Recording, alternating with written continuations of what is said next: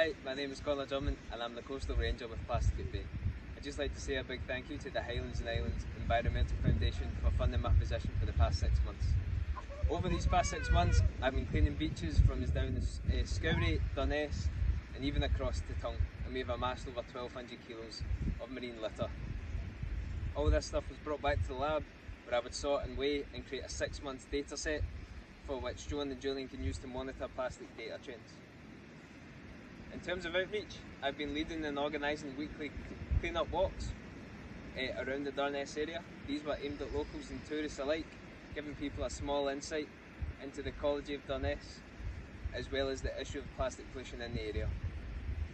Recently, we've had the S1 and S2 pupils from the Kinlochbervie High School come we did a small clean just down here at Balnakeil Beach as part of achieving their John Muir Award. We also, with Plastic Bay, we've got a citizen science portal where we encourage people who have done beach cleans up and down the UK and across an island to submit their data. We collate this data and it not only provides a small graph which shows the trends over the years, but also an interactive map so people can designate hotspots and see how plastic compares from one site to the other.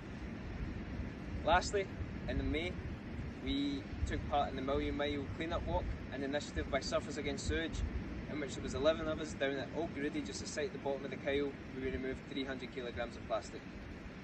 Lastly, I just want to say again a big thank you for allowing me to get this opportunity and further supporting Plastic at Bay. Cheers.